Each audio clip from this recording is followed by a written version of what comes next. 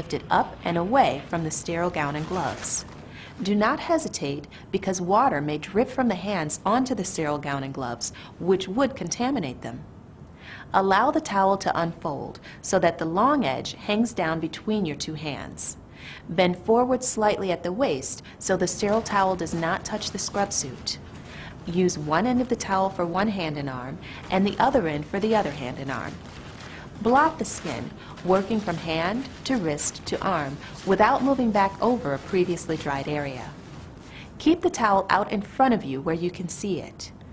After drying one hand and arm with one end of the towel, begin drying the other hand by placing the wet hand at the other end of the towel while confining it to its own side. Dry the second hand and arm using the same blotting technique. When you're finished, drop the towel into a nearby receptacle. Proceed immediately to gowning.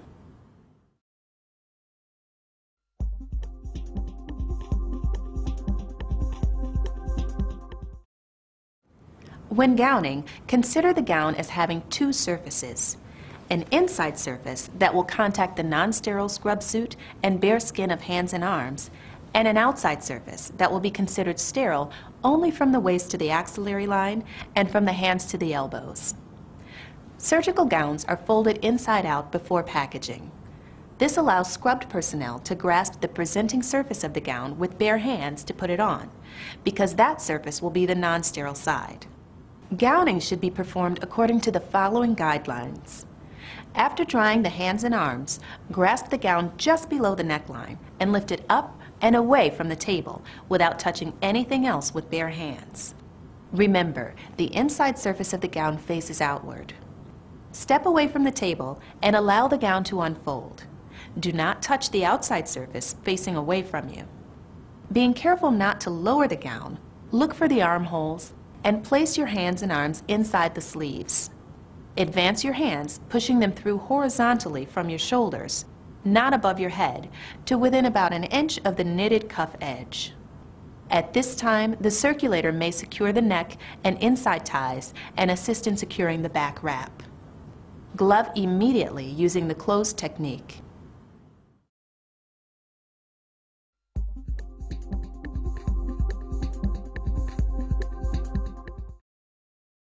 Many types of surgical gloves are commercially available. The common considerations in choosing gloves are the glove material. Latex allergy is a major concern. Tensile strength, thickness, and proper fit. Tactile sensation is important, especially in surgical specialties that require the use of fine instruments and in which delicate tissues are encountered. Double gloving is appropriate and highly recommended when there is repeated contact with heavy instruments or there is copious bleeding, such as during orthopedic surgery.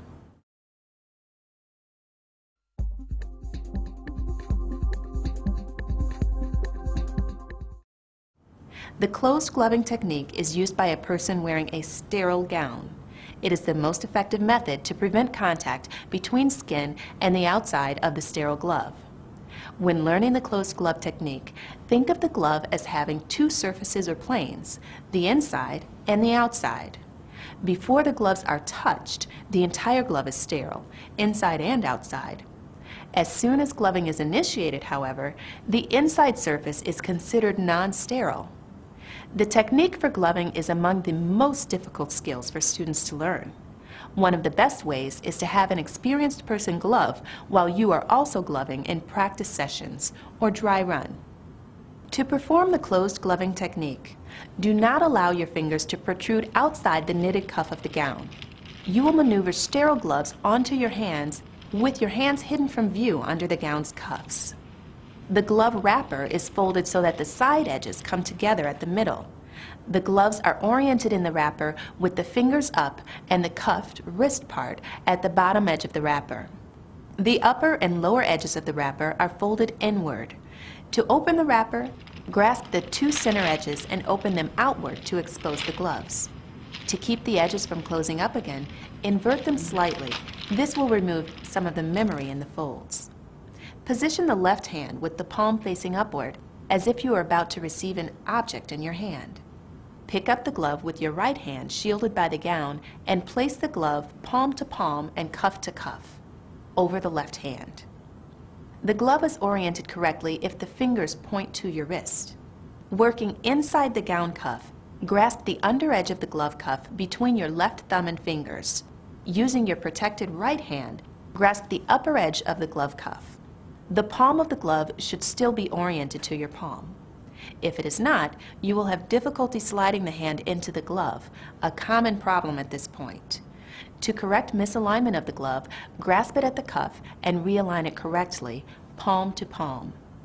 Keep the hidden fingers within an inch of the outside edge of the knitted cuff and make sure your thumb is well inside the seam of the cuff. This prevents another common obstacle which occurs when the left hand slips back into the gown sleeve. Pull the glove on. Grasp the left glove cuff and advance your left hand into the glove.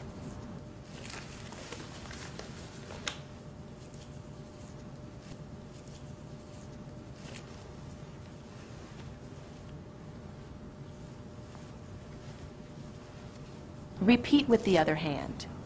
After gloving, check both hands for any sign of punctures or tears.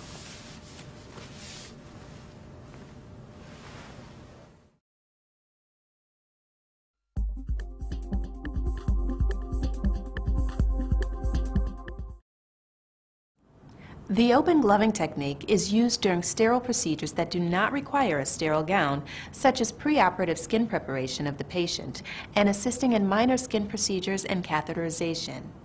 The hands are not usually scrubbed before open gloving, although they should always be clean.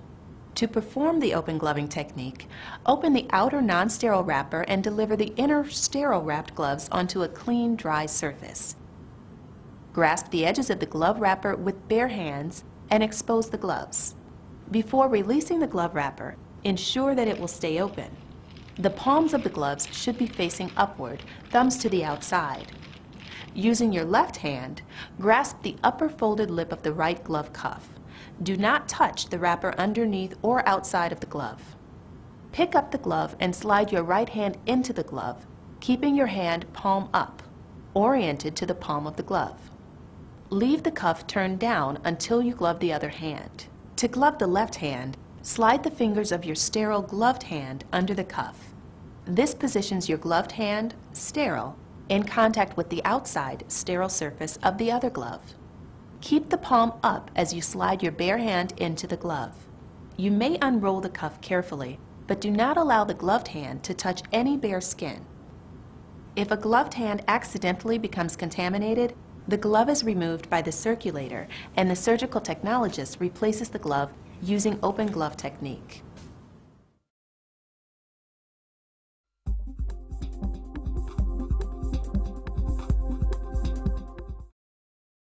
Gowning and gloving of other team members happens after the surgical technologist has set up sterile supplies and instruments and the other members of the surgical team enter from the scrub sink area. During gowning and gloving, the surgeon greets the scrub, circulator, and anesthesiologist and may introduce other members of the team. This time allows formal acknowledgement of the team members and what is to be done before the actual start of surgery. The surgeon also may clarify the need for special instruments or equipment at this time. Interaction among team members during the process of gowning and gloving often sets the tone for the entire surgery. When the sterile team members enter the operating room, the scrub hands a towel to the lead surgeon and then to the other members of the team. Good morning, Melissa. How are you? Good, how are you? Not too bad. Got good sleep last night, Good. and I am raring to go.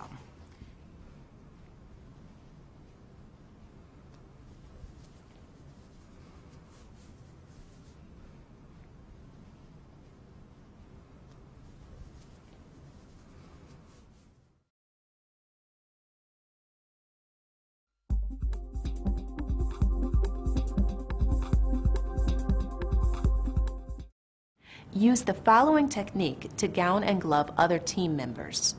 When the team member reaches out for a towel for drying, pass the sterile towel over the team member's extended hand so that the long edge of the towel falls between his or her two hands. Grasp the folded gown, step away from any non-sterile surface, and allow the gown to unfold. Cuff your hands under the shoulders of the gown so that the outside of the gown, the part of the gown that will remain sterile, faces you. Position the gown so that the person you are gowning can easily insert his or her hands into the armholes.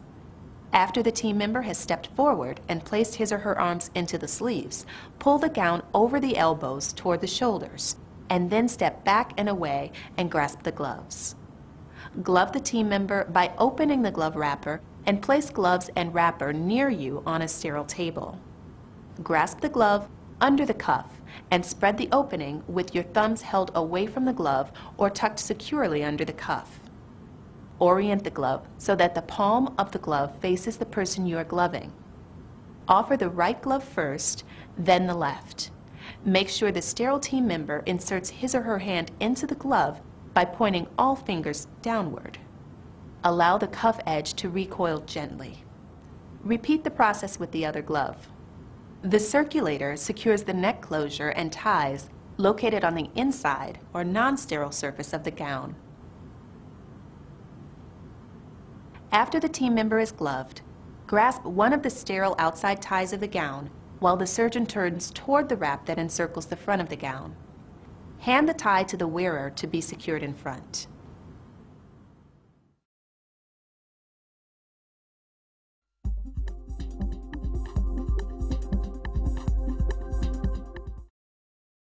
When removing sterile attire, always remove the gown first and then the gloves. Grasp the gown slightly below the shoulders, releasing or breaking the ties or snaps, and pull the sleeves downward. This will roll the gown inside out as it slides over your gloved hands. Roll the gown so the contaminated outside surface faces inward. Dispose of the gown in a biohazard bag. The gloves should be removed after the gown. Grasp one glove at the outer wrist using the opposite gloved hand, glove to glove. Pull the glove off. It will turn inside out as you remove it. Place your bare fingers inside the cuff of the opposite hand and roll this glove off your hand, skin to skin. Dispose of both gloves in a biohazard receptacle without touching the contaminated outside of the gloves.